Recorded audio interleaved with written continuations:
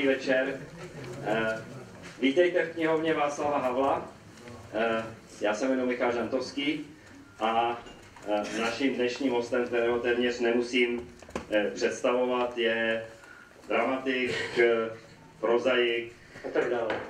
básník, politický aktivista, disident a mnohé další. Pavel Kohout.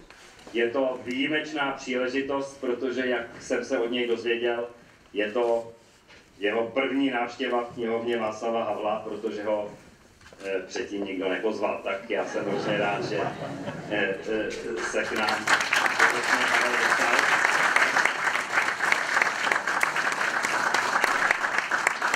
A jak už je zřejmé, z jména našeho hosta čeká nás večer plný překvapení, zábavy, poučení a moudrosti, ale než se dostanu eh, eh, k tomu večeru, musím nebo chci eh, začít z toho méně veselého konce. Eh, eh, Dnes eh, uplynulo 20 let od smrti Olgy Havlové, eh, výjimečné ženy a ženy, která eh, výrazně ovlivnila život zakladatele eh, této eh, knihovny. Olga byla velmi neokázalá žena, nepotrpěla si na formality a určitě by nechtěla minutu ticha, ale aspoň chviličku ticha, abychom jí mohli věnovat.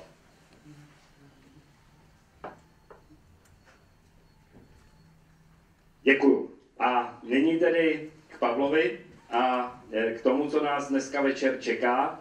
Eh, My budeme spolu eh, se bavit, eh, jak jsme se původně domlouvali, o eh, historii eh, vzniku Charty 77, eh, od které vlastně příštím lednu uplyne 40 let, ale už v tomto roce nebo před 40 lety v tomto roce se děly události, které ke vzniku charty vedly a Pavel, jak jsem pochopil, ne najednou, ale vylučovacím systémem je jeden z posledních jaksi žijících pamětníků eh, toho skutečného eh, vzniku a událostí eh, okolo, takže já jsem rád, že máme příležitost to vyspovídat, ale ještě předtím budeme mít světovou premiéru.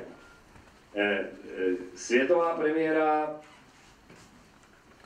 nebude telefonování Pavla Kohouta knihovně Václava Havla, to není něco, co máme na mysli, ale čtení z jeho poslední hry, eh, kterou se jenom v názvu, upozorňuji, vrací ke svým literárním začátkům, protože ta hra se jmenuje Vítězný únor. Takže mistře, Pane mistr.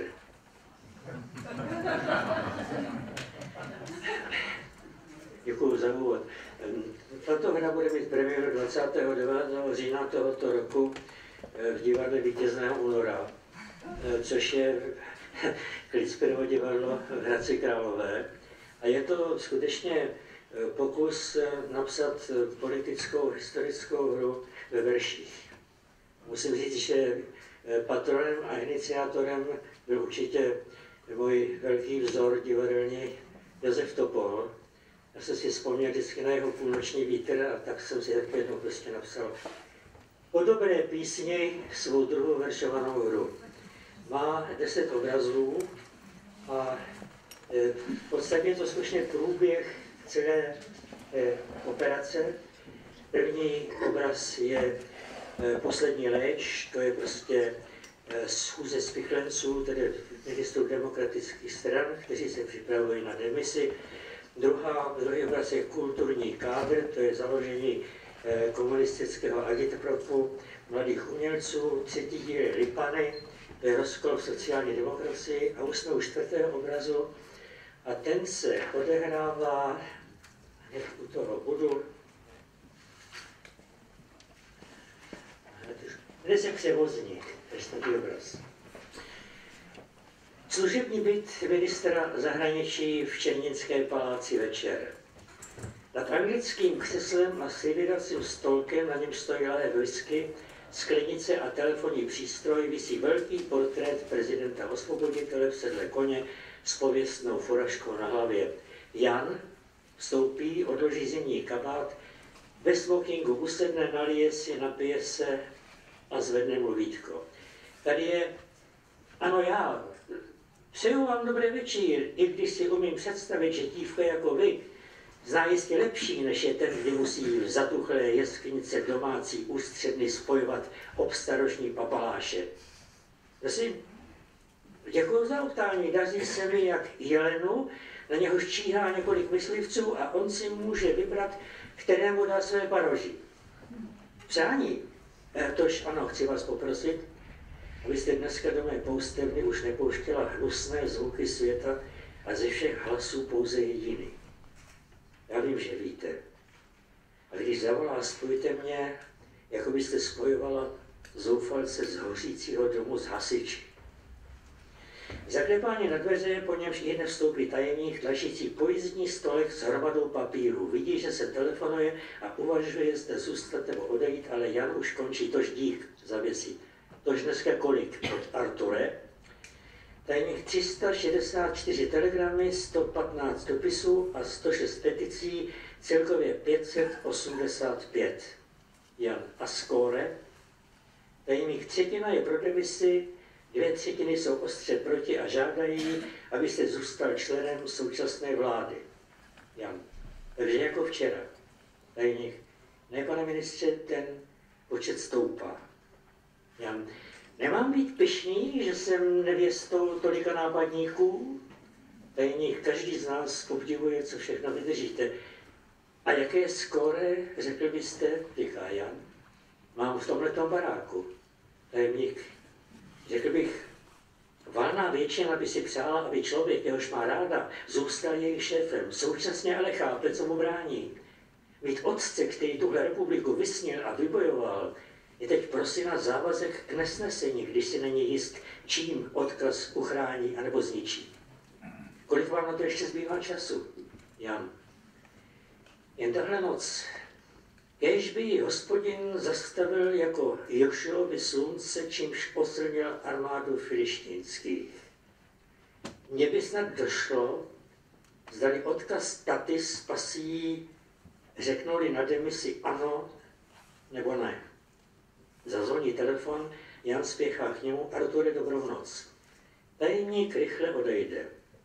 Kde si v jiném prostoru leží v plážovém lehátku pod slunečníkem a v plavkách americká spisovatelka Marcia Davenportová. Domorodý sluha, který jí donesl telefon na dlouhé šňůře, stále čekám.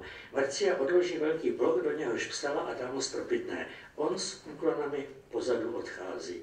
Jan Marcio, Marcia Johne, tak jak je v Praze. On zhasne lustr, takže svítí jen velká stojací lampa osvěcující i portrét. Já.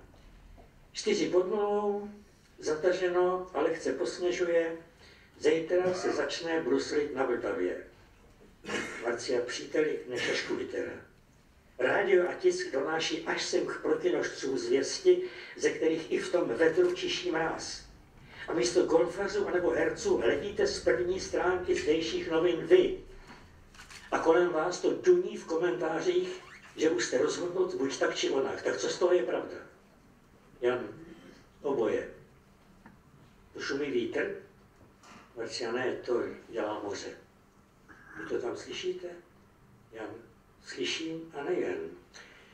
V duchu vidím ten uhrančivý obraz Jazyky vln vyběhnou na písek a zase ji obnaží, následovány dalšími, které je buď předběhnou, či nedoběhnou podle toho, jestli se moře ztrácí nebo vrací. Vzpomínáte, co o tom řekl Shakespeare? Je zákon přílivu a odlivu platící pro moře i pro člověka. Marcián, mluvíte v šarádách a tak se ptám, to vaše moře stoupá nebo klesá? Já? I šarády jsou jenom ohlas hádanky, kterou se už třetí den pokouším řešit. Poslal jste mě pryč, když jsem cítila, že co si hrozí a chtěla zůstat s vámi. Cítil jsem to. Mám zásná přítelkyně, jako vy. Přál jste si, abych psal nový román, ale co mě má napadnout, když myslím na váš, který je skutečný a páchne krví a jste s ním sám? Proč jste mě vyhnal, Johne? Nechtěl jsem drahou bytost neznalou té exotické řeči mého kmene vystavit bouři, v níž by nepostřela kdo s kým a proti komu, co a kde a proč a v krajním nebezpečí kudy kam, jak se dostat z cizí v řady pryč, kam patříte. Do světa, kde už pravda nekrvácí, jak Ježíš na kříži. A pro kříž, už jste si všimla, na vašem nočním nebi schází severka. Ne, proč, jak to? Jak je to možné? Její místo zaujal jižní kříž a měsíc je tam dvojnásob živý. Živý? Ano, živý. Česky vše štimuje. Když připomíná C, tak couvá, a když D, tak dorůstá. Zatímco v latině při crescit ustupuje a při dekrescit tloustne stále víc, takže si vysloužil potupné přízvisko Jeluna Mendax, měsíc lhář. Jenomže na vaší polokouli šálí naopak a proto je dvakrát prolhaný. Mače, tohle jsem nevěděl. Tak teď to víte a hned dnešní večer můžete si to zkontrolovat. Johne, to jste si vybájeli podvodníku, abyste nemusel vyprávět o té krizi? Nepřísám, to všechno byla pravda. Jako je pravda, že chci dneska slyšet já vás, Marcio. Aby mi váš hlas potvrdil víru v existenci světa, kam se chci jednou vrátit, a že proto teď musím vyřešit tu šarhadu, aby se šelmy nažrali a pravda zůstala celá. Drahí příteli, teď už mě prosím netírejte dál, protože by mi tady zhasly hvězdy a moře vyplavilo z hlubin všechny trosky i kostry jako kulisy v zoufalství ženy, které odráží nejbližší člověk podávanou ruku a ona má jen tušit, jak se topí. Máte už představu, co uděláte? Už jsem byl jako ten převozník, který měl loďkou pro dva pasažéry přeplavit vlka, kozu a kož zelí, tak aby nikde nezůstala spolu dvojice, která by si ublížila. Nechcete vědět, jak to řešil on? Raději bych věděla. Tak poslouchejte. Převezl nejdřív zelí s vlkem, se kterým přeplul zpět, převezl kozu výměnou za zelí, které zasměnil za vlka, jeho směnil za kozu a stoupal v klidu doplul pro zelí. Co to má společného se mnou? Tak já si připadám jak jiný převozník, který však zůstal tečet v prostřed proudu, se z obou břehů žádá ozbrojenci, aby k ním přirazil a dal jim přednost, jelikož převezeli napřed jedny, strestají ho ti druzí jako zrádce. Tak je to strašné. Tak a ještě horší, když ze zorného úhlu převozníka jsou obě strany sporu stejně sporné. Se na té loce držet? Už ráno hodí obě vojska sítě a než se začnou znova kráglovat, tak převozníka svorně utopí. Miláčku Johna, já vás příliš znám, než abych uvěřila, že skončíte v síti tak mi už vroucně prosím prozraďte, až u vás ranní slunce zažehne tu vaši živou lunu na mou polokouli, co uděláte, jak se rozhodnete, abych se za to mohla aspoň modlit. Že mě už můj původ zavazuje opustit úřad, jak to učinilo těch 12 apoštolů demokracie, kterou tu zase tata. Ale taky vím, jak on by jim teď vyhuboval za to, že spatlali svou šanci jako kluci. Čím? Vším. Především zapomněli počty. Když už má vláda 27 členů, tak většina je 14 a ne 12. Tož prezidenta ochromuje, neboť vláda je stále ustášení schopná. Ti umělci si ale vysnili, že s nima půjdou i dva nestraníci, Ludvík a já. A byli si tak jisti,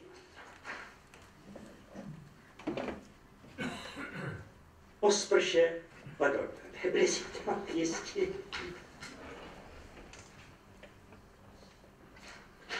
že přišli k nám až za minutu 12, tak jako myslivec si na poslední leč vyjde spíš po klábosi, než střílet.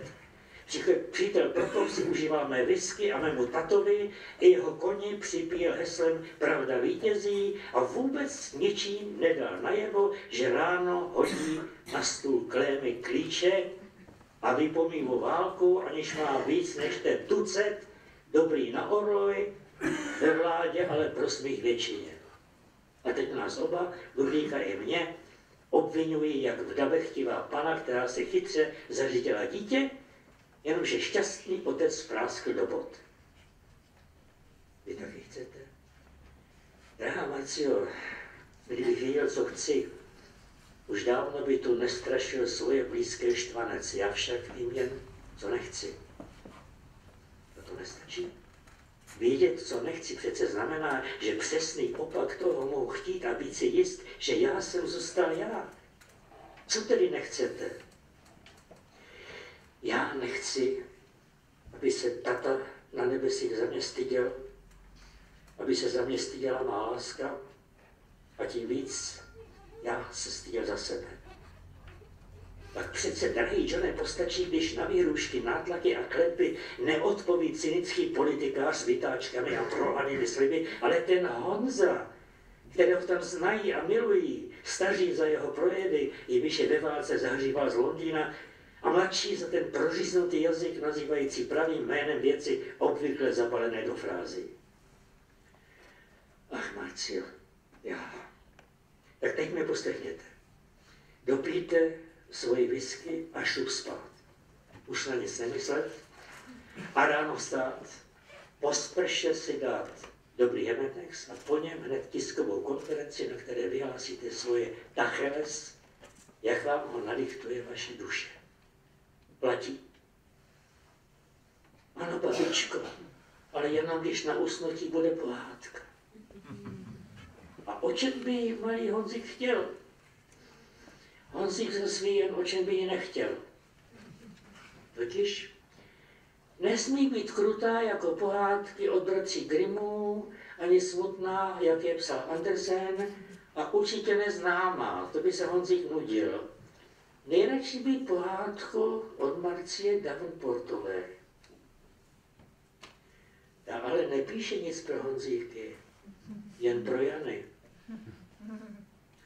Takže je na čase vymyslet něco pro něho, když musí na její rozkaz kvapem na kutě. Dobře? Tak je, už je Honzík v pyžámku? Ano, babi, už si i čistil zoutky, je umytej a taky vyčúranej. Tak alou do postýlky poslouchat. Už posloucháme, babi. Kdo my? No přece já a můj medvídek Míša. Tak, byla jednou jedna kobliha, co po večeři zbyla na talíři a protože s tím nepočítala, nepřinesla si sebou žádné jídlo a přepadl jí hlad. Začal jí křučet v bříšku a lámala si hlavu. Otevřou se dveře pracovny a tajemník rozsvítí lustr. Jan, co se děje? Arture, prosil jsem vás. Pane ministře, omlouvám se, dole je premiér a nařídil mi vyřídit vám i hned, že s vámi musím mluvit. Řekl o čem? Chce ráno prezidentu navrhnout, jak řešit krizi a pak výsledek oznámit na Maslavském náměstí půl milionu čekajících. Řekněte mu, že si jen převléknu z pyžámka. Tajemník hledí na jeho smoking, ale vždyť jste oblečeni. Já to se vám jen zdá. Ale nechci, aby si tajemník myslel, že jste zbláznil a poukáže na sluchátko v ruce. Potřebuju se slušně rozloučit. Ach, promiňte, nabídnu mu tam koněk pije ho, jak se tvrdí po litrech. Tajemník odešel, Jan opět zvedne sluchátko, Marcia je celou tu dobu držela u ucha a snažila se zachytit rozhovor. Slyšela jste to, drahá? Jenom vás.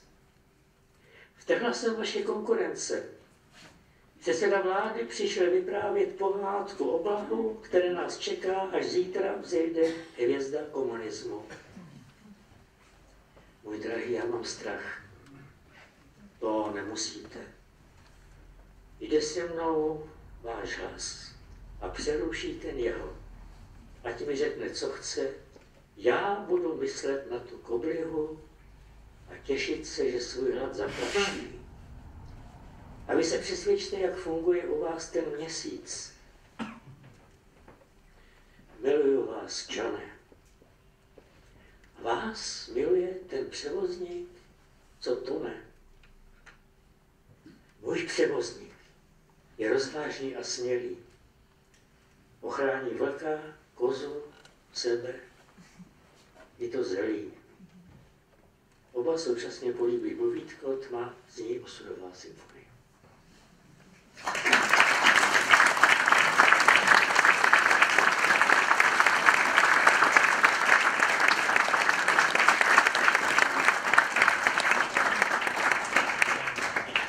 Děkujeme, Pavle, to bylo bezvadný.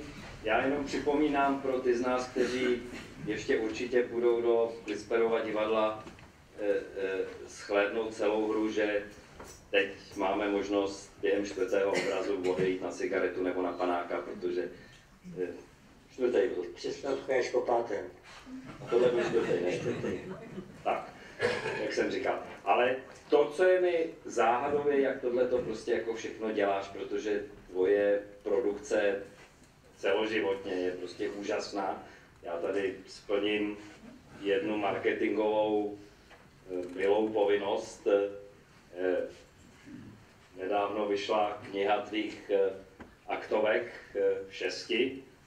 Ta sedmá, která se jmenuje Sex, ta je taková trochu kolektivní, protože postavy, které v ní vystupují kromě tebe a Václava Havla, jsou také Ivan Klím, Aleksandr Kliment, Karel Kosík a Ludvík Vaculík. A pro nás knihovně Václava Havla pochopitelně je zajímavá ta osmá, která se jmenuje a já to, každý to čte jak umí, jo?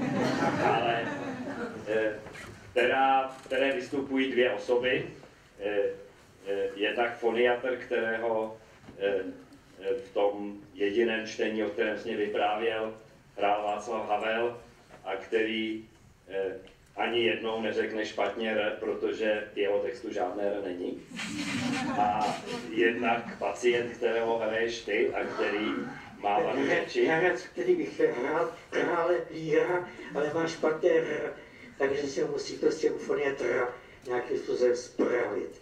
A myslím, že to je geniální nápad a já se zabývám myšlenkou, že bychom v knihovně Václava Havla tuto hru inscenovali, pokud se nám podaří získat nějakého herce s vadou řeči a...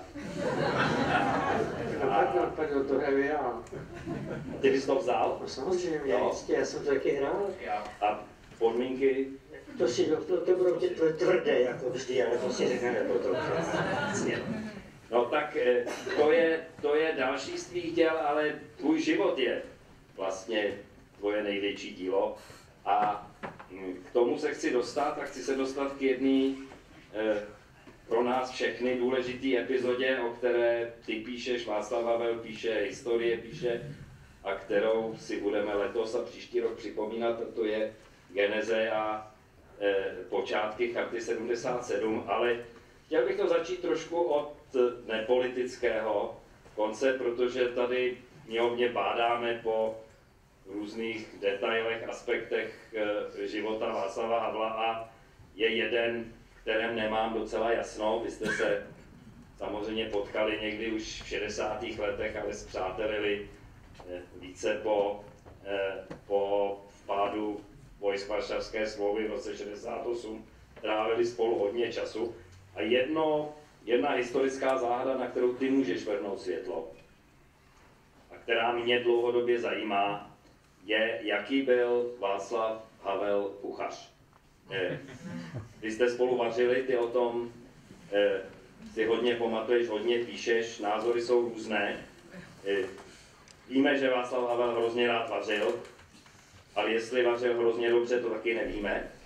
A podle toho, kdo jsme co jedli, tak, tak se lišíme v mínění. Ty jsi s ním vařil tu velkou eh, večeři inspirovanou Rabalovým románem, jsem anglického krále, eh, eh, kterou vám sežrali psy, ale prosím, slovo je tvoje.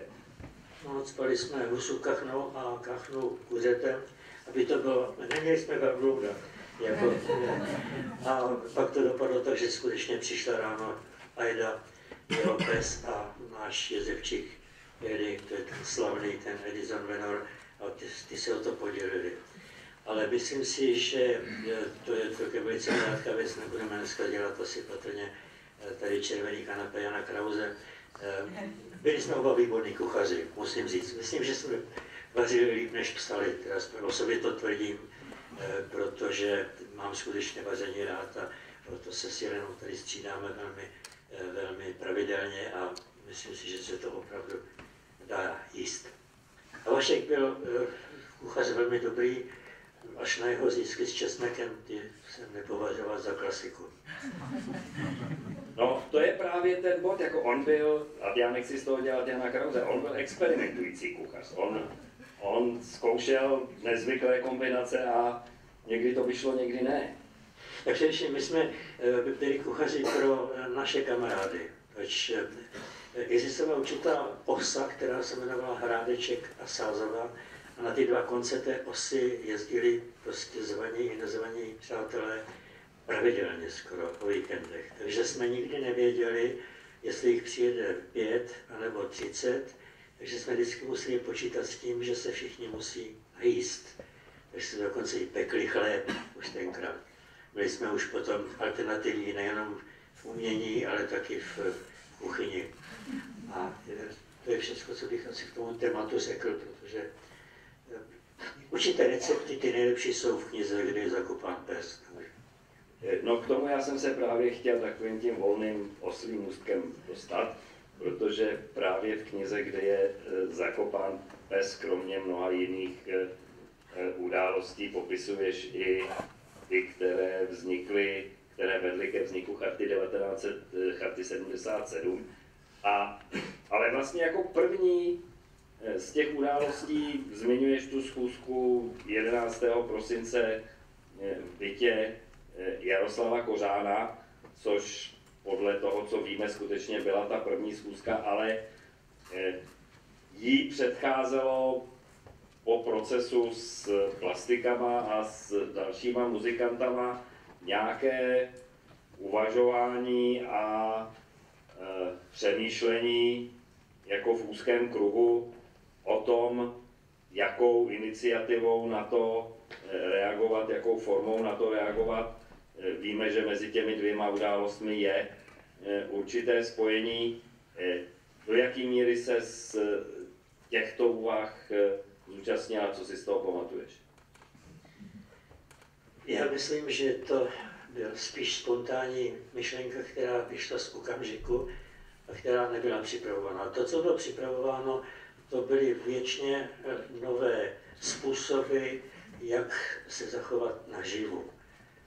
Režim, který nesmí mučit a zabíjet, to má velice špatné. A my jsme skutečně se dostali, řekl bych, do nejpříznivější doby onoho režimu, který už byl vyděšen z roku 68, takže jeho sluhové eh, si dovedli živě představit, že třeba to znova zažijí. Takže až na to, že občas nějakému eh, třešňákovi si prostě to, to, topili cigaretu o kůži eh, nebo někoho prostě strčili a svázali a vlekli ho prostě v noci do lesa, se vlastně chovali eh, dost bezradně, řekl. A pak si prostě najednou uvědomili, že kromě těch lidí, který uznala Evropa, je tady skupina lidí, kteří můžou vlastně beztrestně mučit když už nezabije, tak aspoň neskutečně šikanovat. A to byli právě uh, mladí lidé, zejména ta okruh plastiku, ale prostě byli to strašní vlastně tucty a tucty lidí, kteří prostě chtěli žít svým vlastním životem. No a Václav si vybral jako vlastně své chráněnce právě plastiky a začalo to tím, že když byli na tom opravdu velmi špatně, tak eh, přišel, jsme se sešli a to ještě byl do toho Vaculík a on nám přinesl nahrávku. No my jsme z toho byli zděšeni. A on říkal, no, je to taková divná věc, prostě pro nás už to není, samozřejmě, a mě ne pro vás, protože jste starší, my jsme o 10 let z Václava, to je velký, velký rozdíl. Takže a říkal, my bychom se jich ale měli zastat, protože teď jsou vlastně honěni jenom protože vlastně na nás ještě pořád nějak neudělali názor, co s námi provedou. Tak jsme říkali, ano, ale to musela být reprezentativní skutečně skupina, která by se jich zastala. Tak jsme s tím naštívili eh, Jaroslava Seiferta, pana profesora Patočku a eh, pana profesora Černého. A přehrálo se to zase. A ty z toho byly ještě zděšenější z té muziky. Byla to taková opravdu zvláštní situace, kdy jako měli jsme teda přemluvit těchto několik starších přátel, jestli by napsali s námi krátké prohlášení, že si za ně stavíme. A tu situaci vyřešil s nesmírnou elegancí Jaroslav Seifer, který řekl asi zhruba, no, těm chlapcům se asi taky nelíbí mé verše. A tím to bylo vyřešeno. Takže my jsme skutečně napsali tenkrát tu první petici, která měla asi 6 nebo 7 podpisů. No a pak se samozřejmě ten tlak na ně neustále stupňoval a my jsme vlastně psali pořád jenom nějaké petice. Když jsme se sešli toho 11. kolikátého prosince, tak už opravdu eh, těch petic za námi bylo několik a dostává se vlastně taková všeobecná únava, protože jsme věděli, že ty petice vlastně už nějak nezabírají. A z toho vznikla na té schůzce těch sedmi lidí, my jsme se tenkrát dohodli, že prostě nebudeme říkat, jak si kdo co. Přeruším tě. Devět nebo sedm? Nevím. Sedm. Zkus je spočítat. Půl, eh, Bergman, Havel, Havel, Vaculík, Komeda, Komeda, Kohout, Kohout, tak to máme šest, eh, Hájek, Hájek ano, sedm. a eh, Němec. Němec, ano, Němec, Osm. ano, osm. A byl tam devátý. Ano, byl to Určitě. Jarda Kozáka. Ale, ale ten se mezi ně nepočítal vlastně, že? No a tak se ho, na té schůdce tenkrát skutečně přišla myšlenka, eh, kterou by po Husejno, na Husejnovskou petice všech peticí. To znamená udělat ji jednou provždy. Jednou provždy, aby se už žádné další petice vlastně dělat nemusely. Taky musím tomu poznamenat, já od té doby, od té doby jsem nepodepsal žádnou petici. Když se na mě někdo obrátí, tak napíšu já soukromý dopis nebo soukromou stížnost, ale nepíšu už někdy petice, protože to je naprosto neopakovatelný zážitek, že se tenkrát nad tím textem semklo vlastně celý, celé spektrum názorů od lidí, kteří se v podstatě buď to neznali, nebo nesnášeli, lidí rozdělených eh, názorem, náboženstvím, eh, temperamentem, lidí, kteří v podstatě celý život víceméně spolu nesouhlasili a náhle se bez jediné vlastně připomínky, protože to nebylo možné, přijal tento úžasný text. Úžasný text je v tom, že se podařilo zahýbat nejenom po to zemi, ale vůbec. A náhle nás napadlo porazit jejich vlastní zbraní. To znamená, oni těsně předtím, na podzim roku 76, přijali, museli přijmout jako závazek z Helsinské konference chartu lidských práv a chartu občanských práv, které se staly součástí československého právního řádu. Tak my jsme se rozhodli, že prostě tedy se jich zeptáme, jak je to možné, že nedodržují svůj vlastní zákon. To byl taky potom ten klíč k tomu, že se dostali do absolutní defenzivy, protože nevěděli, co s tím, nebož tam nebylo vůbec nic, co by je napadalo, bylo tam pouze konstatováno, že se nedrží toho, co si sami jako zákon No, to je všechno. No a tam, pak se z toho prostě stala taková úžasná záležitost, které pomohly hvězdy, jinak se to nedá říct. Protože my jsme ještě, to bych, to bych řekl tak ještě to jaksi záměr, udělat to mezi štědrým dnem a mezi Silvestrem, poněvadž jsme si řekli, oni také mají děti. Ukázalo se skutečně, že oni to celé prospali, ta státní bezpečnost, protože mám celý svůj spis, můj spis eh, je jeden z mála, který nebyl zničený a má asi 7000 stránek, tak tam je spousta tehdejších prostě telefonátů nebo zpráv státní bezpečnosti o našich odposleších. A když se potom na ně prostě ministr vnitra obrátil, teda si udělal ogrom v tom státní bezpečnosti, říkali, no, oni neustále jako říkali, že něco bude. No ale oni už několik let říkali pořád, že něco bude, něco bylo. A nakonec jsme to prostě jak si teda vzali, jako že teda zase bude nějaká, vím, petice nebo něco takového. Takže mi to skutečně prošvihli. No, e, o tom e, neexistuje úplně jednotný názor a právě z těch odposlechů a e, z jiných dokumentů, které už se mezi tím jak si objevily, se dá konstruovat i, i jiná teorie, která mně osobně připadá docela pravděpodobná, že oni to tak ani neprošvihli, jako že to chtěli prošvihnout, protože kdyby jaksi byli jednali na základě té evidence, co měli, tak by si byli zničili celý Vánoce a celý svátky. A je docela dobře možné, že eh, jak si k tomu přistupovali ke své práci, tak jako tehdy valná část národa ke své práci přistupovala, jako že se tou prací zase nebudou tolik obtěžovat a počkají po novém roce, protože věděli, že jim nikam eh, mezi tím neutečete. Ale já bych se vrátil ještě o kousíček zpátky, protože to už jsme někde kolem nového roku, ale mezi tím se ten text eh, vyvíjel.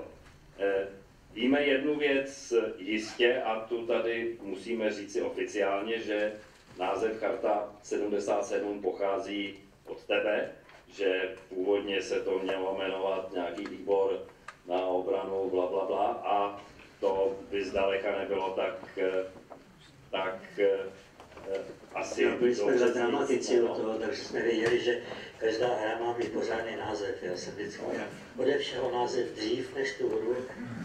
Ten, no já mám od některých jenom název, jo, ale, ale e, e, takže to víme. Ale taky víme, že, ta, že ten rukopis měl při nejmenším tři verze, které se měnily, že v některých verzích byla část vynechána, bylo tam napsáno jenom AA, a ta, se, ta část se tam potom eh, doplňovala a víme, a to na tom existuje také skoda, že Václav Havel byl eh, asi jaksi vůdčím, eh, eh, vůdčím organizátorem, organizátorem eh, celého toho textu, ale tady ta schoda někde trochu končí a já myslím, že u Charty 77 nejde o autorský práva, ale jenom o to, abychom si historicky upřesnili, jak to bylo.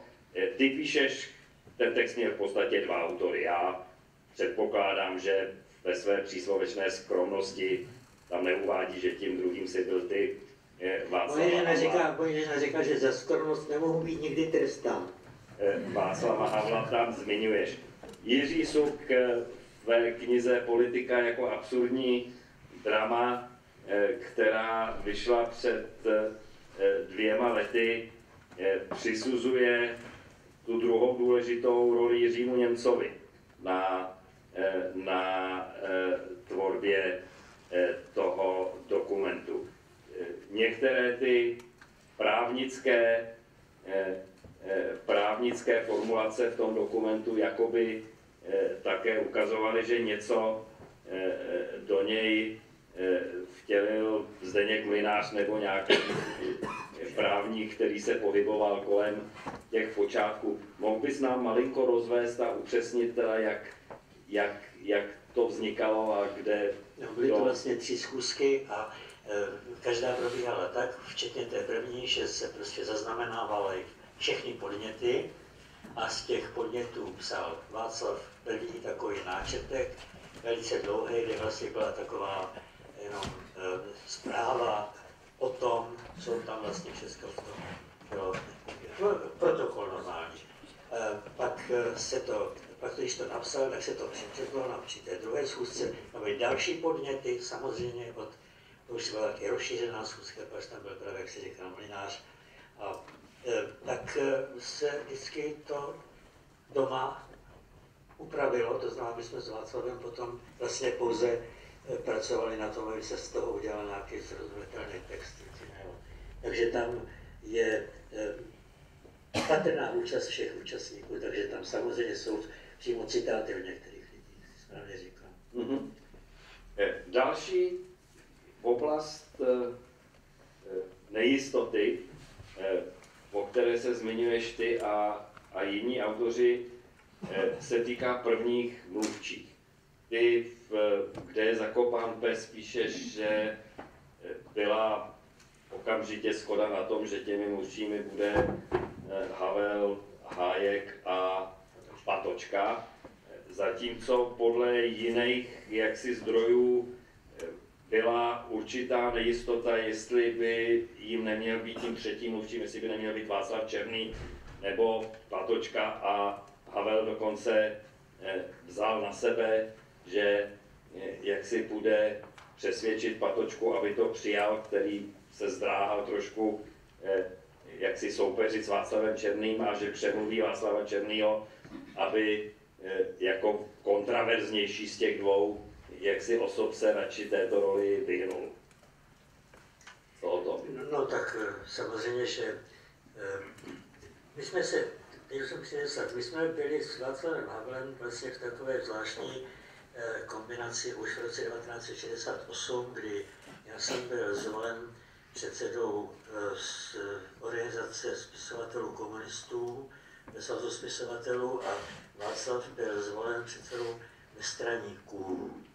To znamená, že my jsme oba vlastně byli mluvčí těch dvou velkých skupin a tím, že jsme se spolu scházeli, jsme vlastně dostali nejenom první kontakt, ale my jsme se museli opravdu, eh, dá se říci, trošku taky jak si pracovat politicky. Například jsme věděli, že on má extremisty ve svých, a já teda mám extremisty. To znamená, že třeba naše, naše, naše, naší velkou úlohou bylo, abychom nerozhodli na jedné straně ani pana profesora Goldštikra, na druhé straně ani pro pana profesora Černého. A takže jsme se snažili prostě neustále vyrovnávat eh, spolu eh, ty problémy v těch dvou velkých skupinách a tím se z nás vlastně stali přátelé, až najednou jsme zjistili, že musíme prosovat opravdu velice otevřeně a velice společně. A to se týkalo taky potom těch mluvčích, protože jakmile se to v tom úzkém kruhu ustalo skutečnosti, že něco takového bude, tak samozřejmě byl i prověn zájem, třeba ze strany pana profesora Černého. A všichni jsme si uvědomovali, že to je vynikající muž, ale prostě eh, v něčem, eh, že to potřebuje člověka konciliantnějšího a prostě člověka, který je schopen pohltit větší množství názorů. A člověka, který skutečně je schopen si jakýmsi způsobem přivlastnit a zastupovat i názory, s nimiž nesouhlasí. To byl pochopitelně pan profesor Patočka. Jinak bylo jasné, že tam musí být eh, dva nestraníci v těch třech, nejenom jeden komunista, to nám bylo zcela jasné od začátku. A e, tak to taky vlastně potom fungovalo i dál. Dobrá. Tak a teď se blížíme, promiň, že tě takhle spovídám, ale mě to prostě zajímá, jsem si jistý, že to zajímá i, i, i diváky. Teď se dostáváme e, k momentu, kdy charta šla do světa, tak říkajíc že tomu předcházela ta schůzka 29. prosince ještě 3. ledna. A e, k těm dramatickým událostem, které to provázely a které začínaly nebo začaly v tvém e, bytě v Salmovském e, paláci. A tam jsou dva detaily, který, který mě zajímají. Jednak ty píšeš, že těmi originálními distributory nebo těmi, kteří povezou tu eh, petici s eh, těmi podpisovými archami, archy, eh, měli být Havel Landovský a Vaculík. Podle Landovského Vaculík se tam přichomit úplnou náhodou, že tam jaksi původně neměl být a protože víme, že Ludvík se takovýmhle momentum nevždy jak si nevždy chtěl být u nich, tak eh, mě zajímá, jak to opravdu bylo. V této místnosti sedí eh, člověk, který byl přímo u toho.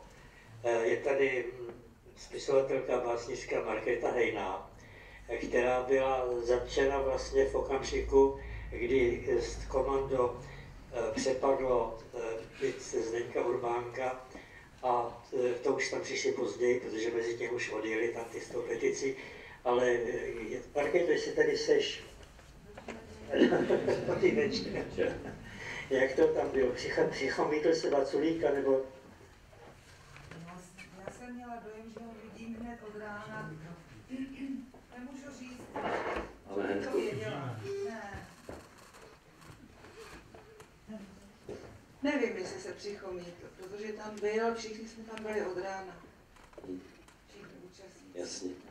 A to, paní Jiná, vy byste nám možná mohla říct, eh, eh, Václav o tomhle tom vždycky mluvil, eh, jak v těch posledních jaksi fází, kdy se kontrolovaly a e, ty hm, e, archy podpisový, jak e, Zdeněk, Urbánek a, a Von a Vaculík, jak propadali záchvatům smíchu, čemu se smáli? No, musím říct, že se skutečně smáli, ale na to, čemu se mě ptali i odpoledne až noci eh, na STB. Velmi jim to vrtalo hlavou eh, a už nevím, jestli se jim to prozradila, to tajemství, protože se skutečně smáli, bylo to takový trošku, nevím, jestli je to správné slovo, fanfaronský smích, nebo hmm. hrdinský, nebo prostě do boje. Eh, vzpomínám, jak když odjížděl Landovský eh, s, s, ano, s Vaculíkem a Václavem, šli do auta, tak eh, Landák ještě ve dveřích se otočil na mě a na Jindru, na dceru Zdenka Urbánka, která od, odvedla chlapce pryč mezi tím. A otočil se na nás a řekl, holky, buď to bude dobrý, nebo nám budete nosit buchty do kriminálu. A šel. A v tomto duchu žertovali, takže to.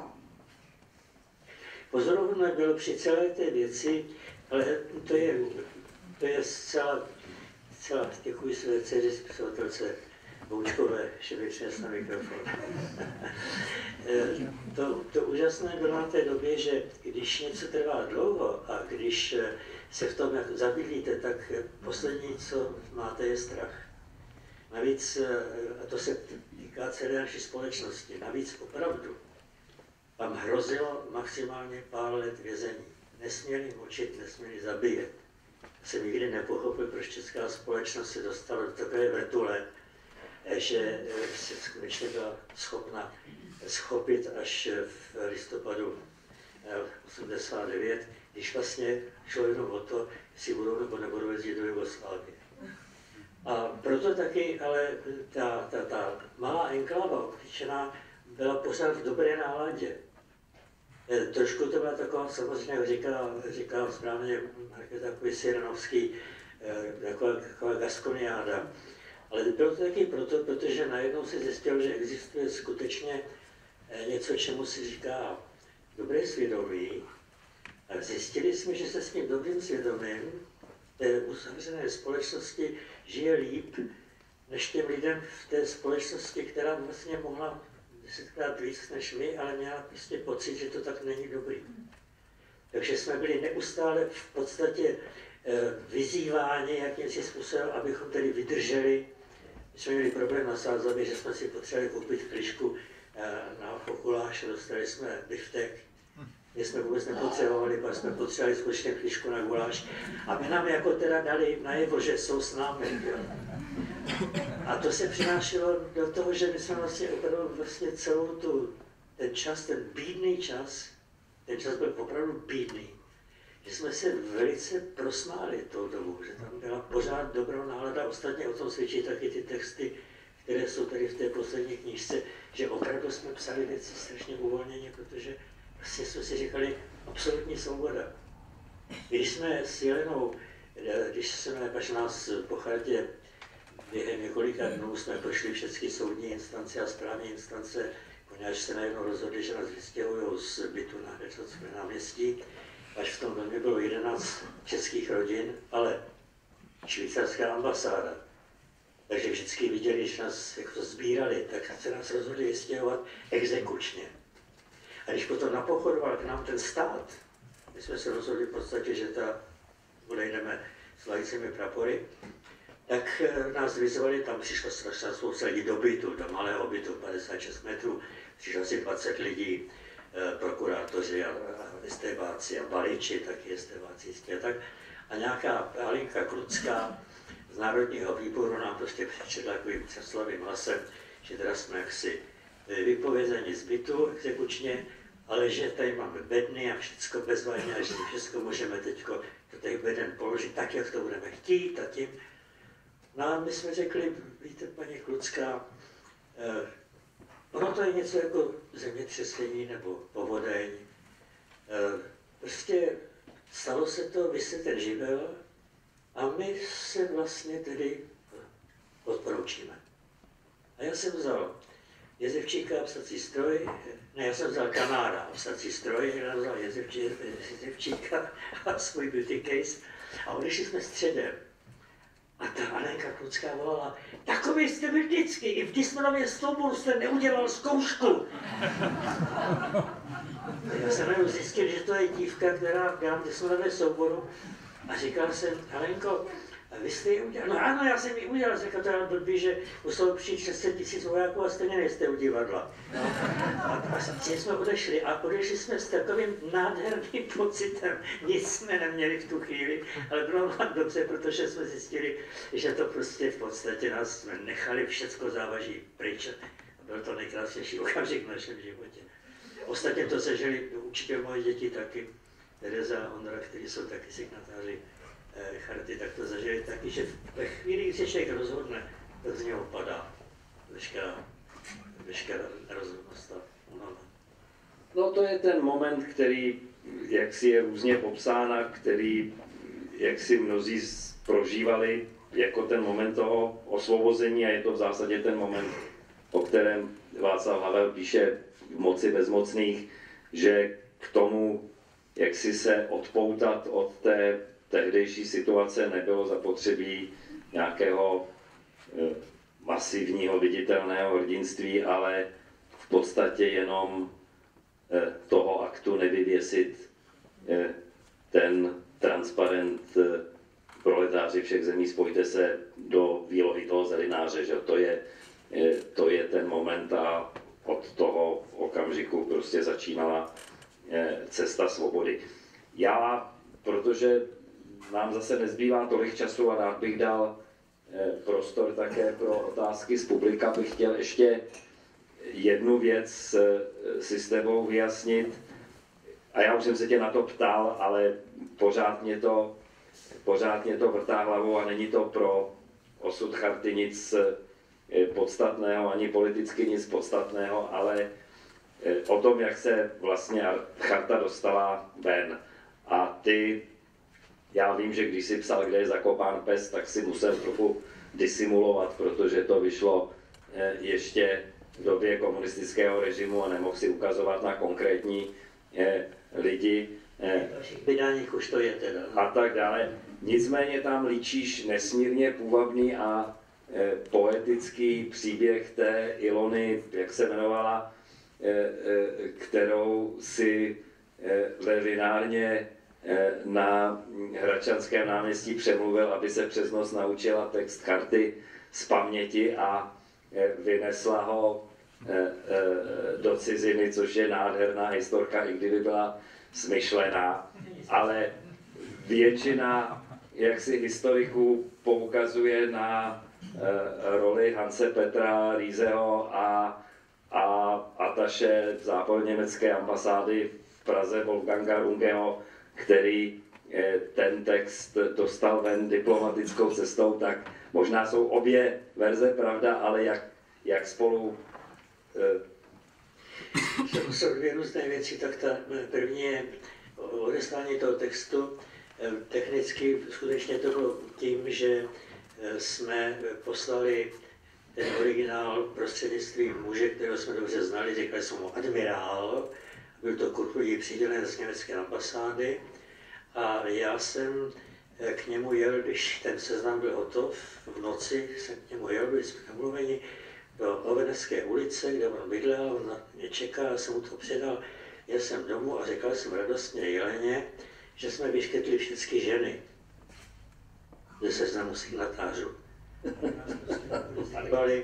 že jak si zmnožujeme počet signatářů ženami. No manželky, teda ne ženy, manželky. Ano, naše ženy, naše ženy, ano. No, Jelena říká, ty jsi se zbláznil. Tak já v tom lítám s tebou celou tu dobu a teď jako tak škrtneš můj podpis, ne, já chci, abys tam přidal. Tak jsem jel zase znova v noci k tomu Runge, to ještě nebyl konec, k tomu, k tomu Rungeho říkám se, že tak musí připsat Jelenu, vrátil se se zpátky a přijel ještě Václav a říkal Pruser.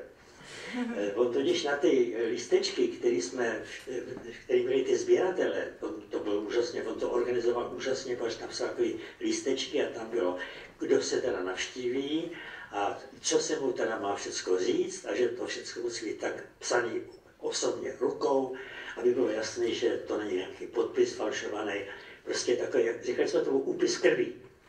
No jenomže on tam měl, on tam měl takovou tu, tu osobu, vzorovou osobu nějakého prostě komendu nebo něco takového. A najednou se ukázalo, že tam zůstal v tom souboru těch signatářů. A my jsme věděli, že oni budou každýho samozřejmě zkoumat a když tam bude jeden, který neexistuje, je, tak budeme nevěrohodní. Tak jsem to, já to Rumio čekal ráno v 6 hodin zase u toho baráku a jsem se skrýval teda ve stínu, abychom prostě řekli, musíš krtnout toho. Tím si zapříčinil, že do dneška existuje historická nejistota, jestli ten původní seznam čítal 241 nebo 242 lidí. Že? Dva je to určitě ano, pač vypad, vypad, vypad, on, Koranda se jmenoval, to husické jméno, Koranda.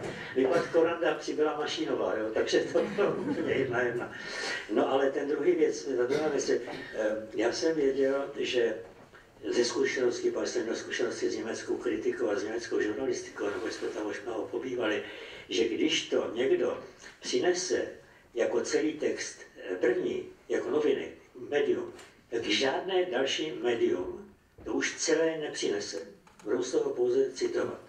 Čili úkol byl, aby to nejlepší noviny světa přinesly pokud možno v celém znění. To znamená najít někoho, kdo by byl ochoten a kdo má takovou renomé, že přesvědčí šéf-redaktory několika listů, jako byl Le Monde, nebo Figaro, nebo uh, New York Times, nebo anglický Timesy a tak dále, že musí přinést ten text 7. ráno na tři krále v plném znění. A ten Jan, ten Honza Rize, ten Jan, ten byl novinář, který pracoval dva roky v Praze, potom byl z Prahy vyhoštěn, eh, protože eh, náš dobrý přítel Ota Filip si vymyslel, že prostě on Eh, byl vlastně iniciátorem naší petice za osvobození politických vězňů, což vůbec nebyla pravda, ale nicméně vyhostili ho, takže on měl otevřený účet s touto vládou a já jsem jenom potřeboval mu předem sdělit, co má učinit předem, než mu dojde ten, než mu dojde. Tak mezi tím předáním tomu Rumemu a jejich diplomatickým kurírem byly ještě tři dny. Takže jsem využil toho, že jsme znali s Jelenou tuto dívku, která byla Češka, jezdila, vdala se do Německa, jezdila do Čech, navštěvoval nás na Sázavě, měli jsme k ní prostě plnou důvěru, takže já jsem ji prostě vzal eh, do Labutí a potom k nám domů. A ne, že by se to učila na spaměť, ale prostě memorovala si zásady toho textu. A já jsem volal jenom Brizemu, eh, že prostě jak si eh, přijde k němu krásná dívka, kterou jsem poznal a že mu ji vřele doporučuju. E, takže on už viděl, že prostě někdo zavolal a ona zavolala a on tím měl ty čtyři nebo pět dní, to je předstih, protože to bylo hrozně málo času a už začal pracovat s těmi redakcemi, které připravil na to. To všecko perfektně klaplo, až na to, že jsme zapomněli, že Limo je večerník, který vychází už 6. večer Což by to bývalo, bylo, všecko mohlo zkazit, ale už bylo pozdě, protože ty ostatní už taky jeli rotačkama a navíc to upozornění nebo to, to uveřejnění večer znamenalo, že ta státní bezpečnost v tom prvním rozčilení zase ty zatčený pustila. Oni ty první zatčený skoro všechny pustili toho sedmého večer, protože nevěděli vůbec, co se děje. Takže eh, tam došlo právě k takovému za, za veselému momentu. Alandovský je odvez do muže. Eh, se možná divíš, proč se ptám na takové detaily, ale my tady v knihovně Václava Havla neustále bádáme a z tohoto večera určitě jaksi vznikne sympózium nebo eh, nějaká vědecká práce o tom, jak eh, jsme doplnili bílá místa v životě Václava Havla. Ale tady nebylo ani jedno bílé místo, že všecko je to už napsáno v knihách, kde je zakopán pes a to byl můj život. Takže všecko to tam já jsem dneska neobjevil vůbec nic jiného, než to, co už je napsáno. Já vím, ale jak by řekl Karel Schwarzenberg s prominutím řečeno, ono těch knih je víc a některý napsali jiný lidi a ty to zase píšou jinak a my si to musíme udělat nějak, No, jasno, že jo? no já si, říkám, jaký štěstí měli Robespierre, Danton a Marat, že nepřežili francouzskou revoluci, protože co by potom zbotní četli od novinářů a od historiků, se museli z toho zbláznit. Tam se to řešilo čistým řezem, že? Ale eh, teď nastal ten okamžik, který bývá někdy při našich pořadech eh, nejzajímavější a to je, eh, jsou odpovědi našeho hosta na eh, dotazy z publika, takže prosím. Eh, já jsem přesvědčen, že eh, je tady řada lidí, kteří by se rádi na něco zeptali, jenom se trochu ostýchají. Ten moment trvá většinou takových 20 sekund. Ano, tamhle již vzadu vpravo je první otázka. To je Vladimír Merta, prosím. No, tak, To bude. tak nemusí, ten všecko ví.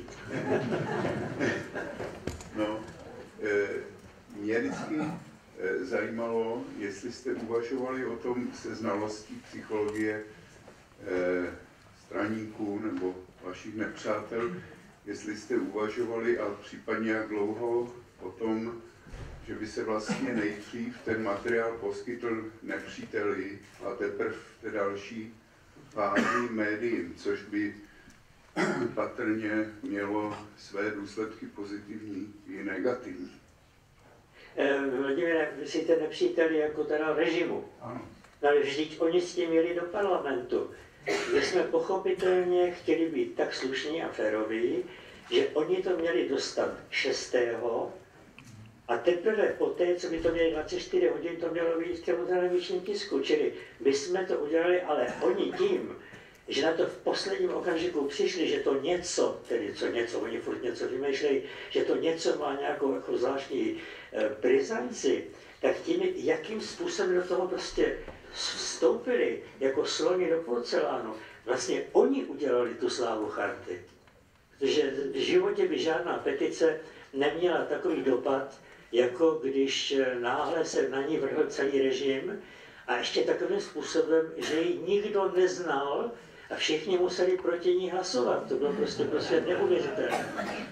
My jsme zažili takovou jednu z klíčových okamžiků našeho života, když nás asi 27. 8. ledna eh, jsme dostali prostě vyrozumění, navštívili nás teda státní bezpečnost, že se máme dostavit ráno, dejme tomu v 9 hodin, do kanceláří na Bartolomějské ulici. A protože tenkrát, těsně předtím, Bruno Krajský neprozřetelně oznámil, že Rakousko je ochotno přijmout každého signatáře charty, a dokonce už lokomotivní depo Praha eh, uvolňovalo vůz, takovou soupravu pro nás, tak jsme pochopitelně měli hrůzu z toho, že opravdu se to provede. Jsme, ještě jsem stačil potom teda zavolat na rakouský velvyslanectví, že to je prostě léčka a aby kancléř krajský prostě to doplnil ještě tím, že to musí být pouze s výslovným souhlasem každého, který teda tím vlakem pojede. Tak jsme potom si vzali už jako vždycky eh, naši dizitašku, že tomu se říkalo, která obsahovala eh, v mém případě a v našem případě kartlaček na zuby a takový ty věci, jak čtení nějaké tak dále. A odešli jsme s tím, Silenou, že už se asi do toho baráku nevrátíme, že asi půjdeme rovnou někam teda. A najednou, když jsme přišli, teda tam jsme šli ještě na kafe do Slávie, tak jsme zjistili, že tam sedí Mlinář, Vaculík, Čakrtová, Sekaninová a ještě asi pět dalších lidí, kteří měli po čtvrt hodinách po předvolání na to ministerstvo vnitra za rohem. Tak jsme tam seděli, byli jsme kávu a čaj a chodili jsme tam po těch čtyř hodinách a už od toho prvního jsme věděli, o co jde. Sem přišli a oni řekli, protože se vám v republice nelíbí, rozhodla se československá vláda velkoryse, že vám umožní, abyste odjeli do Rakouské republiky se vším, co máte, abyste tam převedli svou penzi, aby se tam vzali děti a své nejbližší lidi. No prostě chybělo jenom, aby zbor zaspíval na hranicích zastupitelství slunko zlaté. Jinak to všechno prostě, tato, No my jsme jim samozřejmě řekli, že ne a vrátili jsme se do té kavárně. Tak se nás to vystřídalo těch všech 8 po těch 4 hodinách. Už to potom začalo být zase jako vždycky fraška, že paško. Náhle se ale tak, tak kavárna Slávě zaplnila, rychle zaplnila asi stovkou nebo dvěma stovkama našich kolegů, byli tam spisovatelé, herci, všichni v černé, v státní pohřeb. Teď oni viděli nás, my jsme se jeli tam nahoře, když vezete do, tý, do Slávě, tak vpravo nahoře, u toho baru, tam jsme seděli, až bylo ještě prázdno úplně. A najednou ten celý spodek se zaplnil, ale ten hořešek ne, tam si nikdo neodvážil. A jenom si vždycky někdo poznali nás, zase se podívali někam jinam. Co tohle to je? No, za 10 minut 11 se všichni sebrali, přišli ulici do Národního divadla podepsat Antichartu. Takže takhle jsme zažili ten kritický okamžik, kdy všichni nás tam viděli. A pak všichni šli a podepsali tam ten strašný veselý dokument. No, tak prosím. Tak kdo další?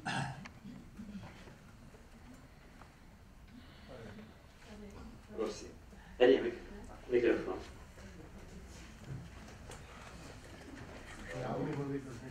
No, ale lepší Já bych se chtěl vrátit k současnosti, k té hře. Vy jste, pane Koute, říkal, že jste ji napsal ve verších. Ano. To je volný verš. Jo, to je blank verš. Aha, tak to je to vše, co jsem... Protože ten, já jsem to tam dost necítil, proto se ptám. je to Blankves švihnutý Alexandrina. Děkuju. Protože jsem zjistil, vzpomněl jsem si na to skutečně přes toho Josefa Topola, že eh, některé věci, které se prostě dostanou do toho Blankvezu, jak je známe z těch Shakespeareových válek růží, takže vlastně ztrácejí takovou tu prostou e, obyčejnost, že se stávají náhle e, trošku poezii sami o sobě. Najednou jsem věděl, že to je ten příběh, ten, ten, ten prostředek, který mě může pomoct, abych to podobně napsal. Mimochodem pochopitelně e, ta hra, která mapuje opravdu celý ten vítězný únor od začátku do konce, tak tam má hlavní postavu mladého básníka, který tam neustále prostě tedy je u toho, který je člen toho kulturního kádru a který se čím dál tím víc eh, stává teda velkou postavou v tom a pořád o tom píše verše. Ty jsem si nemusel vymyslet. Takže já jsem skutečně si tím tohletou hrou jsem se vlastně vrátil úplně na začátek svého kruhu, poněvadž jsem považoval za strašně důležité opravdu jak si vyložit, kam až došla ta, ten bílový oblouk těch lidí 160 nebo 50 Už se zmínil tady eh, Michal, že jsem poprvé na půdě eh, knižnice knihovny Václava Já jsem si už taky zvykl, že spousta mých přátel a mých mladších kolegů, když jak si se známe profesně, má pořád jaksi odstup od bývalého komunisty. A naprosto to, to chápu.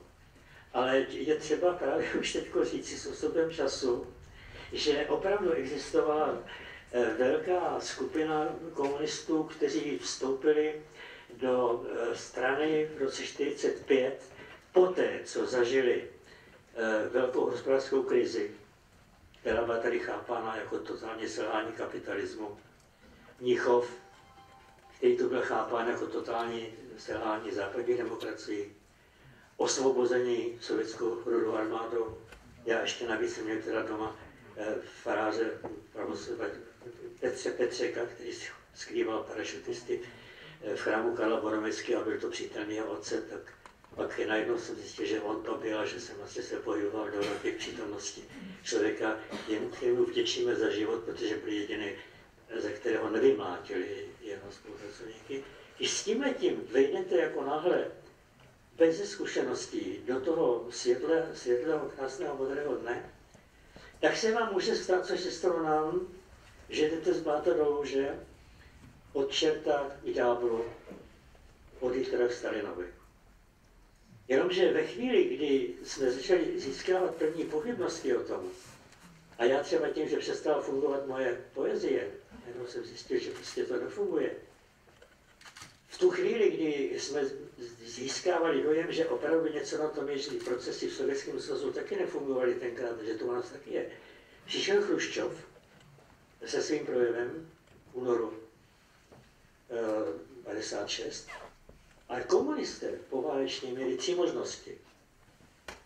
Buď to si vzít život, což spousta lidí udělalo. Já jsem sám přišel, byl jsem byl na vojně, byl jsem četař a byl jsem teďka přidělen k armádnímu uměleckému souboru.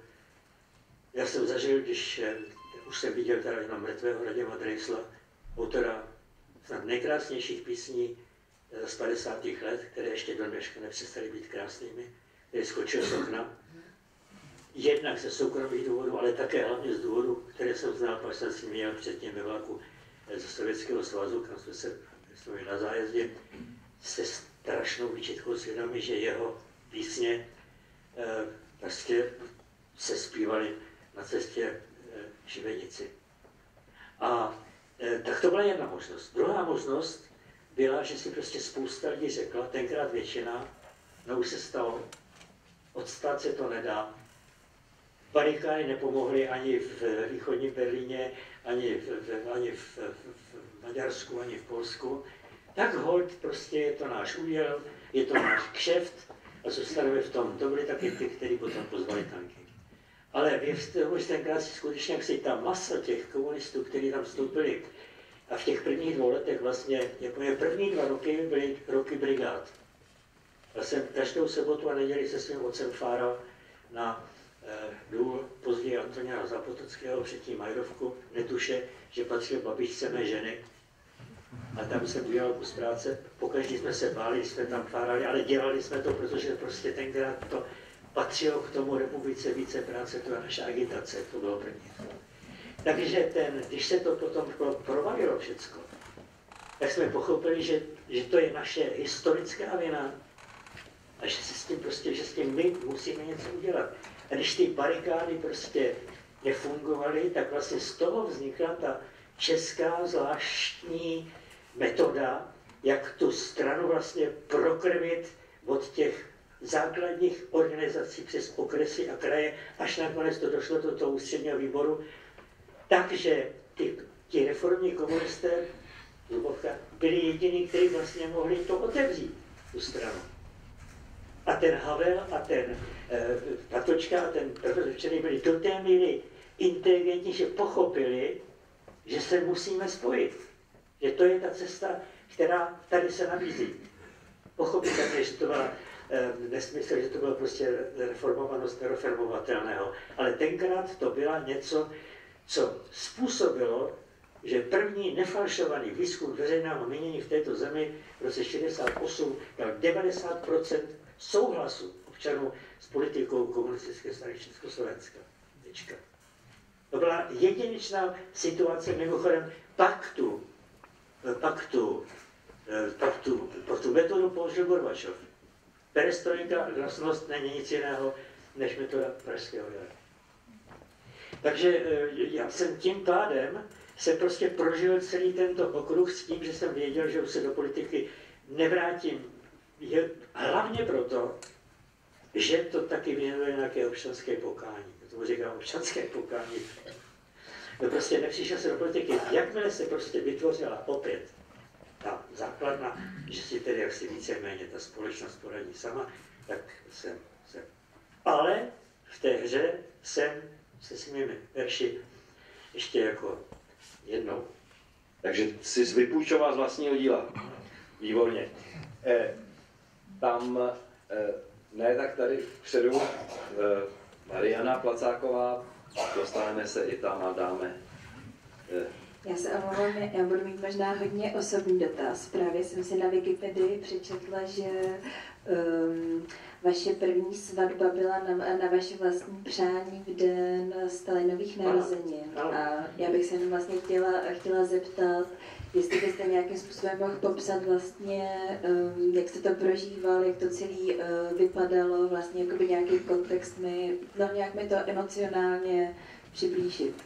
Část, část mé generace eh, žila od 45. roku eh, združena eh, v souborech nebo v organizacích, které eh, byly spojeny, eh, jak to říká Tatarka, démonem souhlasu. Prostě všichni k tomu věřili, proto taky ti ostatní tam nebyli, byli tam, a tím si v podstatě odezírali vše věci z úst. A měli jsme všichni pocit, že to je opravdu náš život, jak jsme si ho představovali. Tím větší potom byl samozřejmě vypád dolů.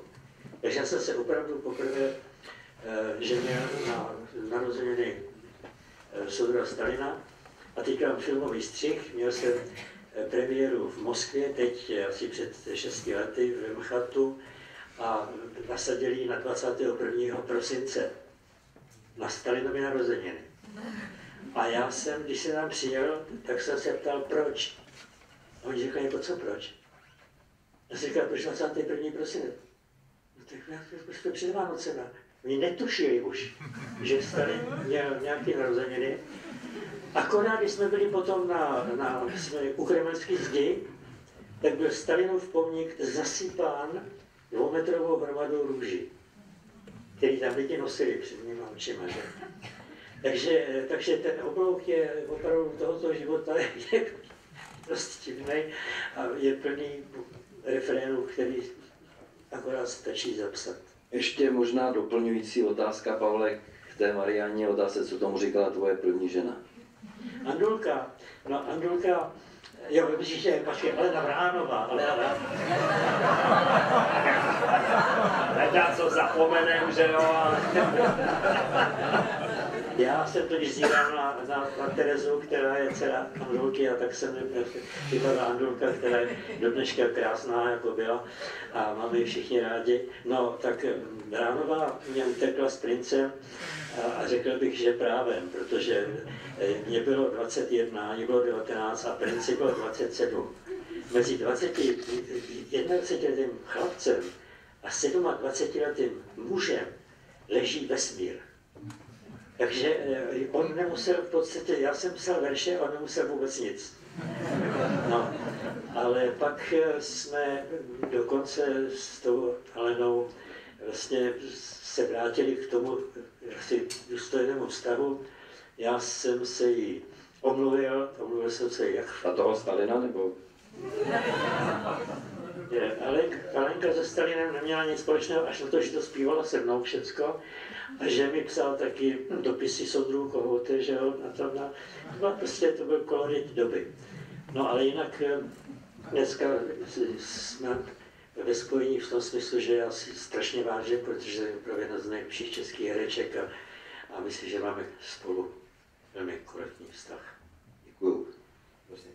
Vy jste, pane Kohoute, tady před chvilkou se zmínil o, o své první etapě literární, to znamená začátku 50. let a země tak nějak spat strach, protože já tady mám, já mám knihovnu a nenašel jsem žádné vaše Ano. prostě přijatelnější věci než dva sborníky a mám strach, nebo Ne, jsem já- strach, já za je já je podpisuju.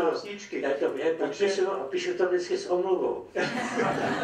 To jsem velice No potěšen. jistě, no, tak je to, je to kus mého života. Já jsem se rozhodl, já jsem pochopil potom, že konec konců úloha, teda úloha, ale když už jsem spisovatel a zažil jsem osobně tuhle tu záležitost, která je opravdu, myslím, principiálně a je modelová, protože se neustále opakuje, neustále se opakuje, že, že prostě společnost eh, vygeneruje nějakého prostě Stalina nebo někoho a všichni se po něm, všichni si, jak je dneska, eh, i naše společnost je absolutně prostě polarizovaná eh, na dvě strany v podstatě, abych to řekl, Schwarzenberg, Zeman, a mezi kterými není vůbec žádného průniku. To se stane po každé vždycky znovu, takže jsem si říkal, a proč o tom nenapsat? Proč o tom vůbec nepsat?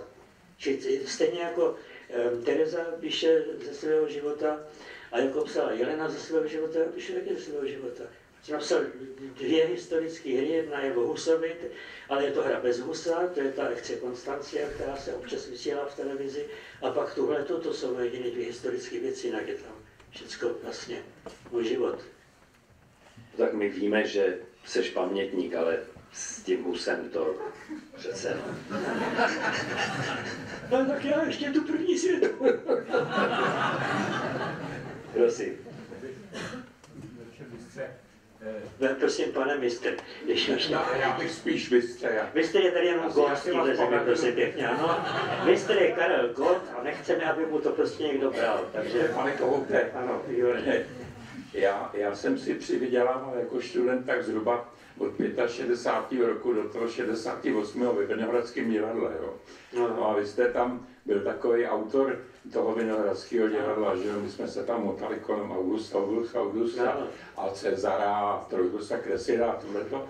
Jestli, jak, že nemluvíme jenom o kartě, mluvíme i o vaší tvorbě, jak na tu dobu vzpomínáte? Já myslím, že to byla docela doba taková, taková svobodná, když tam byl Franta Pavlíček a vy jste tam něco to, 60. To, to, to byla dobrá doba v tom 60. leta byla absolutní renesance této společnosti, protože opravdu eh, ve vzduchu eh, vysela změna a dokonce eh, lidská srdce vždycky mají naději a touží po naději, takže ta změna mobilizovala. Teď z té doby v podstatě máme zásobu skvělých románů, skvělých filmů, celá filmová vlna. A tehdy to bylo také divadlo, které samozřejmě se těchto eh, témat eh, zmocňovalo.